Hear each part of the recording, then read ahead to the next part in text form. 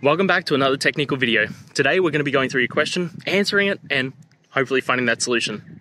Guys, remember to stay just a little bit crazy like me, and hopefully you get to that resolution. Now, let's continue on.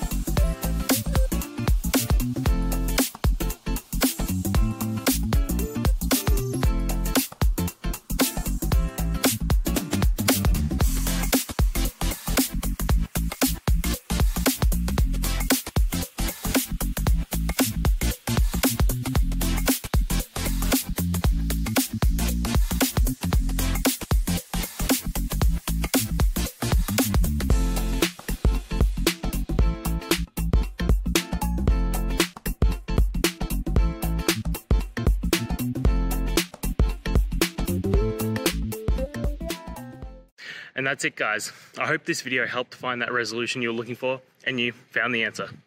Guys, please hit subscribe if it helped, and I'd really appreciate it. I'll see you next time on another one of these technical videos. Have a good one.